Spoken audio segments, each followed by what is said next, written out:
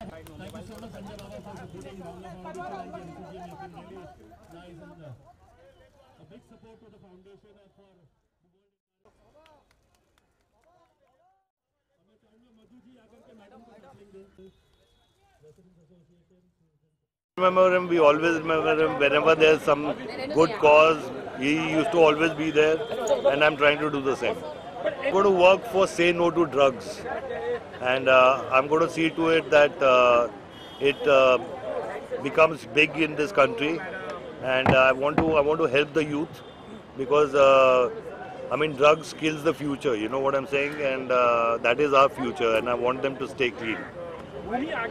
Uh, in whichever way he heads this foundation or sees how it grows, I'm always by him. Oxygen, so more life.